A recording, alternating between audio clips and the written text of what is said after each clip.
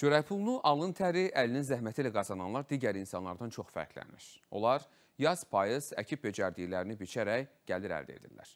İşləri isə heç də asan başa gəlmir. Bəzən təbiətin şıltaqlıqları zəhmətlərini sıfıra endirsə də, bəzən də gözlədiklərindən daha yaxşı nəticə əldə edirlər. Yeri gəlmişkən hazırda Aran rayonlarında taxıl biçini yekunlaşmaq üzrədir. Ötən illə müqayisədə fermerlər bu ilki nəticələrdən xeyli razı qaldıqlarını bildirirlər. Düzdür, hələ ki Azərbaycan özünü yalnız 55%-ədək daxili istehsal hesabına təmin etsə də, yaxın zamanda bu rəqəmin artacağına ümid edirik. Samirə İbrahim qızı biçim prosesindən ətraflı söhbət açacaq.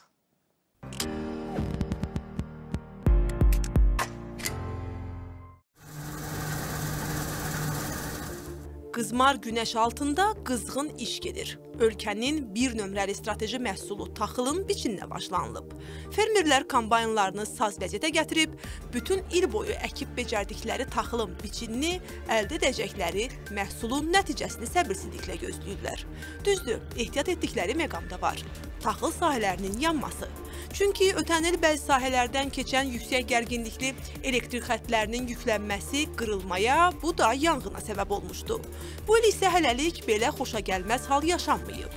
Bu il həm də ötən ilkindən fərqli olaraq məhsuldarlığın yüksək olacağı gözlənilir. Məsələn, artıq Aran rayonlarında biçin yekunlaşmaq ərəfəsindədir və fermerlər də nəticədən razıdırlar. Ötən il 16 hektar sahədə arpa əkmişdim. Bu il 20 hektara çatdırmışam. Ötən il 37 sentiner üzərində idi. Bu il artıq kombaynlar girəndən sonra göstərir ki, 45-in üzərində məhsulumuz olacaq. Bu günə qədər Azərbaycanda təxminən 100 min hektardan artıq sahədə biçim prosesi başa çatıb. 369 min hektar sahədə ölkə üzrə arpa əkini həyata keçirilibdir və arpa əkinləri üzrə ixtisaslaşmış rayonlar var. Saatlı, Salyan, Sabirabad, İmişli, Bərdə rayonları. Burada məhsuldarlıq 35 sentnerin üzərindədir və bəzi fərdi təsərrüfatlarda 40, 45, 50, 60 sentnerə çatan təsərrüfatlar da vardır ki, bu təsərrüfatların sayı ötən ilə nisbətən çoxdur. Ümumilikdə biçim prosesi zamanı kombayn çatışmazlığı olmayıb. Məhsulun tez və itkisiz yığılması üçün kombaynlar GPS avadanlığı ilə təmin edilib. Bununla kombaynların dislokasiyası və nə qədər məhsul biçməsinə nəzarət olunur. Eyni zamanda biçinə başlanılmayan dağlıq və dağətəyi rayonlardakı bölmələrdən hazırda aktiv biçim prosesinin getdiyi Aran rayonlarına 200-ə yaxın kombayn gətirilib. Yeri gəlmişkən artıq dağlıq rayonlarda da biçinə hazırlıq işləri görülür. Bununla əlaqədar olaraq hazırda maşın və kombaynlarda son sazlama işləri həyata keçirilir. Ümumilikdə rayonda bu il 130-a yaxın kombaynın buğda biçininə cəlb olması nəzərdə tutulur. Ümumiyyətlə Azərbaycan hələ də taxıl istehsalçısı kimi formalaşmayıb.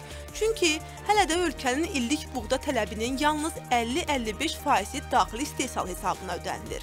Tələbatın qalan hissəsi Rusiya və qismən də Qazaxıstandan ixal edilir. Buna görə də dünyada taxıl bazarında gedən proseslər bizim marağımızdadır. Proqnozlar göstərir ki, bu illərin dünya bazarında buğda, qlobal buğda istehsalının həcmi 764 milyon tondan 768 milyon tona çatacaq ki, bu ilk tarixi rekorddur.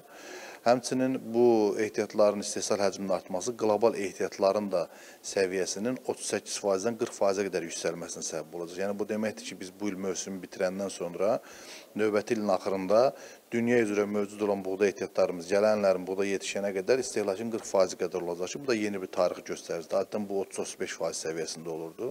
Amma əldə olunan məhsuldarlıq hesabına yaxın gələcəkdə buğda ilə təminatın 65-70%-ə qədər yüksələcəyi proqnozlaşdırılır. Ölkədə istehsal olunan taxılın keyfiyyətinə gəlincə, iqlim şəraiti bir o qədər də əlverişli məhsul əldə etməyə imkan vermir. Lakin fermerlər mütəmadi olaraq gübrədən, pestisiddən istifadə etməklə, agrotexniki qaydaları gücləndirməklə məhsulun keyfiyyətini artırmağa çalışır. Dövlətdə təbii ki, bizim yeni taxıl sortlarının yaradılmasından bağlı həm Elm Tədqiqat Əkinçiliyi İnstitutunda işlər həyata keçirilir. Dövlətdə keyfiyyətə nəzarət üzrə həm özəl şirkətlərin keyfiyyətə nəzarət laboratoriyaları var, həm aidiyyatı dövlət qurumlarının keyfiyyətə nəzarət laboratoriyaları var. Qeyd edək ki, bu il Azərbaycanda 1 milyon hektardan artıq sahədə payızlıq taxıl əkilib. Bunun 640 min hektarı buğda, 360 min hektara yaxını isə arpa sahələridir.